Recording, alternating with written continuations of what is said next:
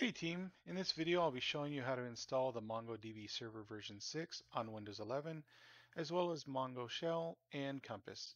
Now MongoDB is a free open source document-oriented database, which means the data is stored as documents and those documents are then grouped in collections. MongoDB is also classified as a no SQL database, so let's get started. First thing you want to do is go to mongodb.com. We're going to come here to products and we're going to look for the community version of the database. Now the install is an MSI, so we're just going to download the version. I'm going to do the current version, but if you needed to, you can select the drop-down to pick a older version. While that's downloading, we're also going to install the or pull down the Mongo shell.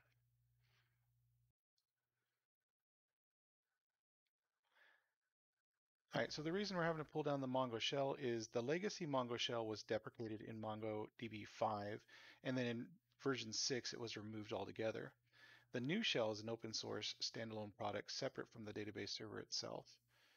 Okay, so while those are downloading, I'm also going to go into C, Program Files, I'm just going to create a Mongo shell folder. Now you can create this folder or um, even just use the straight extracted location.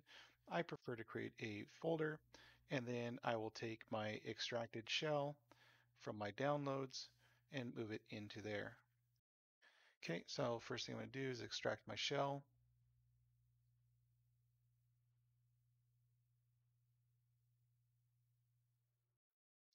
I'm going to go ahead and just rename this folder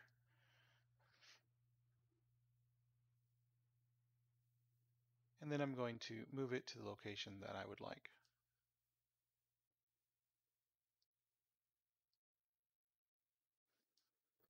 Now what I want to do is go into that folder, go into the bin folder, and then copy this path. The reason being is that we're going to go into our environment variables,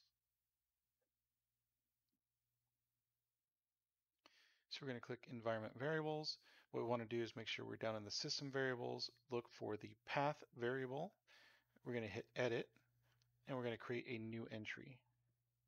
So the reason we do this is that when the we type in the executable name into the command shell or in PowerShell or whatever else, Windows will automatically look in each of these folders for that executable before it bombs out.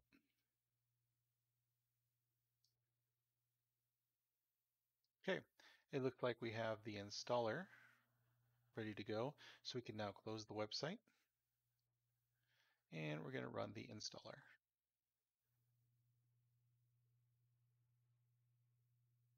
Okay, we're going to run the install with all defaults. So I'm going to hit next, accept the end user license agreement, hit next. We're just going to do the complete install. We want to make sure that we uh, leave this checked, install MongoDB as a service. And then we also want to leave the data directory and log folder um, defaulted. Now you can change those if you want. I'm going to leave mine defaulted. Okay, the other thing we're going to do is leave the install MongoDB Compass and let that just do the install all together. All right, at this point, I'm going to go ahead and pause the video while MongoDB continues to install, and we'll be back in a minute. All right, here we are with the install finished. Um, I accidentally clicked finish before unpausing the video, but you'll see that we have the MongoDB Compass that was automatically launched. We're going to go ahead and minimize that at this moment. And then we're going to go to the program folder and our MongoDB server 6.0 bin and copy this path and add it to our environment variables.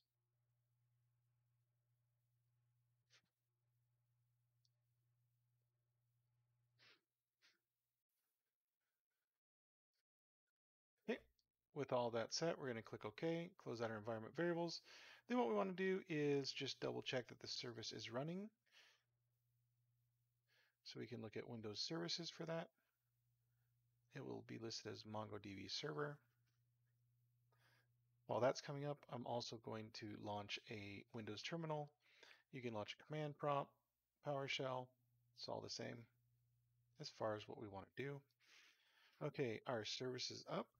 So I'm going to go search for MongoDB server. You can see that it is running. If for some reason it's not running, you could just start the service. Uh, restarting your computer will also um, start the service as the startup type is set to automatic. So the next thing I want to do is in my command shell, I'm just going to go ahead and hit mongo d hyphen hyphen version and I should get the database version and build information back as you see here.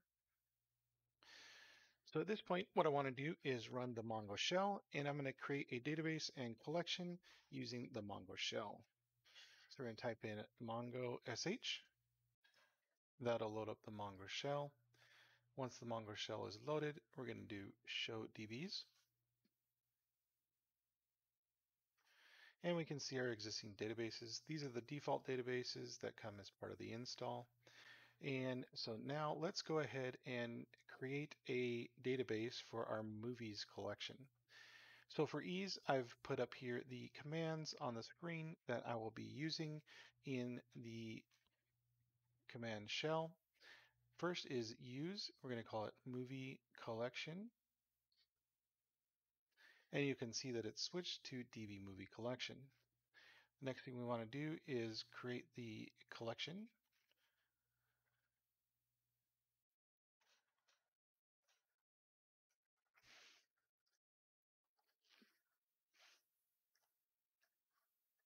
like so. And you see we got an OK response. And so what I'm going to do now is just populate some data into that collection.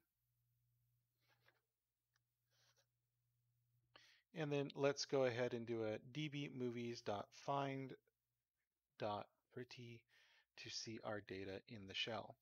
And you can see that we have our uh, three movies that we've entered. You also notice that uh, the schema automatically appended or uh, added the IDs with an object type of object ID and auto-generated IDs for those entries. Okay, so at this point, let's go ahead and double check in the MongoDB Compass. We're going to connect to our instance. And we should see movie collection. And the movie collection, we should see movies. Now I have two here because I had previously had data that I was doing for a demo. So I'm going to go ahead and drop that collection. And I'm left with just the new one I created. All right, so now if you want to add data, you can come here and add a document. I'm going to switch my view here. And so I have, let's add Ghostbusters.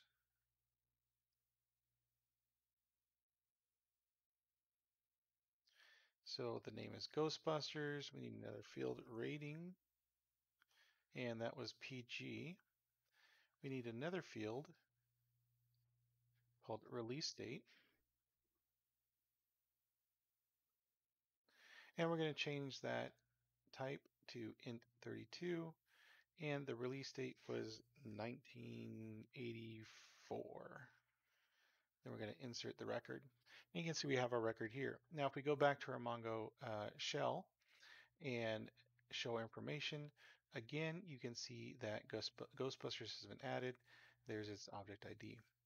Okay, so now editing a record, you just come here, click edit, and let's say we wanted to say Black Panther came out in 2019. We'll change the information and click update. And you can see the data is updated there. All right, so what I'm also going to do is with uh, Compass, we're going to create a uh, new database. And for everybody in the US, we're going to call this soccer. For everybody else, this is football. And our database is going to contain a collection of players. So we're going to create the database. And to populate this database, what I'm going to do is insert the JSON data. Now, I've had issues in the past where inserting the JSON data where it's formatted will throw an error. Uh, and in those instances, having the data one document per line has worked. So I'm going to go ahead and do import data. I'm going to select JSON, go get my file. Let's do the player formatted, import. You can see the import completed. And just for kicks, let's import the other file. You can see it auto selected JSON, do import, and import completed. Now you see we have 20 documents. Oops. All right, so that's how you set up and install the MongoDB server, MongoDB Compass, and the Mongo shell. I hope this video was helpful and informative. If you like it, give it a thumbs up.